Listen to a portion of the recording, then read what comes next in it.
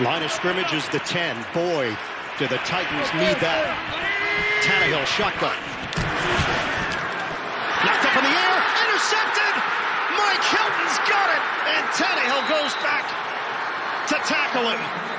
What a spectacular play by Mike Hilton.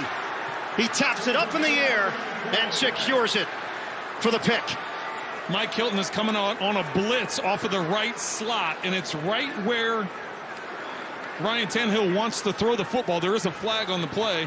Right where he wants to throw the football. Good discipline by Hilton, able to tip the ball in the air and make the interception. Here's the penalty. After the play, unsportsmanlike conduct on Cincinnati number 20 for taunting. It's a 15-yard penalty from the end. First down, Cincinnati. And that's number 20's first foul towards a disqualification. All right, so the play stands for Mike Hilton. The penalty is against Eli Apple for taunting. But Cincinnati takes over. Mike Hilton knocked upstairs, and then Hilton secures it.